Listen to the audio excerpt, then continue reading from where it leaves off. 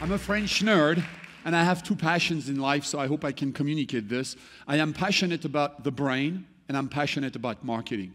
So, the subject that I'd like to talk to you about today is neuromarketing.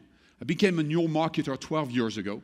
And in neuromarketing, you have neuro, which means the brain, and marketing as in, I'm going to try to sell you something that maybe you don't even need.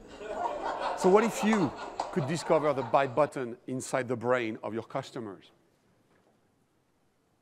What if you could leave this room today with a scientific model to do that?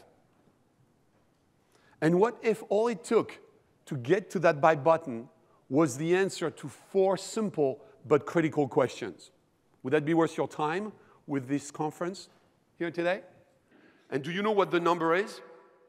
By the way, anybody in marketing in this room should know what that number is. That number is 2.3. And here is what it means it means that if I am selling you something which is worth $2.3, logic would say that you would be willing to give me $2.3 in return. But it doesn't work that way because of that bias, which is called the loss aversion bias. Because of that bias, if you sell something which is worth $2.3, your customers are only willing to pay $1 for it.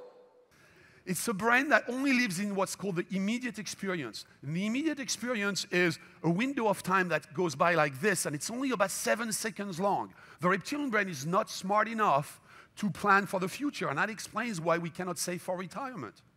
So, all these websites that are focused on who you are and what you do, sorry guys, you got it wrong. You got to rewrite those and translate them into what?